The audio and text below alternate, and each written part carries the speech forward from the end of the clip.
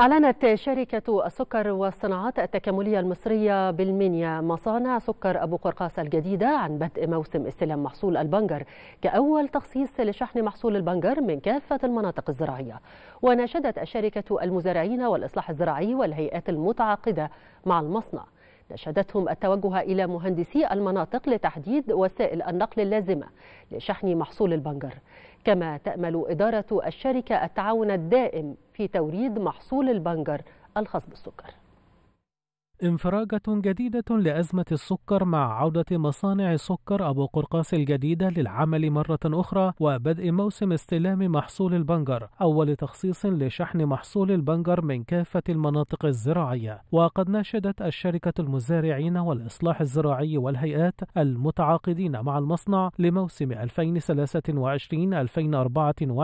التوجه إلى مهندس المناطق لتحديد وسائل النقل اللازمة لشحن محصول البنجر. بداية تشغيل موسم عصير البنجر. بيستقبل مصنع برغاس ما يقرب من مليون طن هذا الموسم إن شاء الله. بطاقة يومية زائد نقص 7000 طن يومي.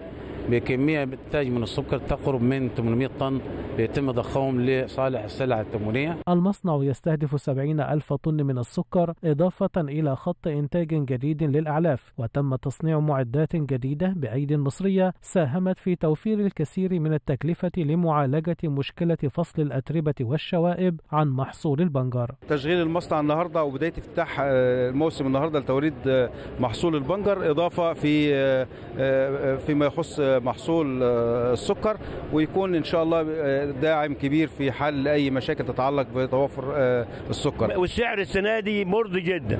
السنة السنة دي كويس جدا. يعني السنة دي السعر بالنسبة للسنين اللي فاتت كويس جو وتبلغ الطاقة الإنتاجية السنوية لمصنع أبو قرقاس نحو 38 ألف طن سكر قصب سنويا إضافة إلى 78 ألف طن سكر بنجر سنويا مما يعزز من مخزون مصر الاستراتيجي من السكر خلال الشهور القادمة.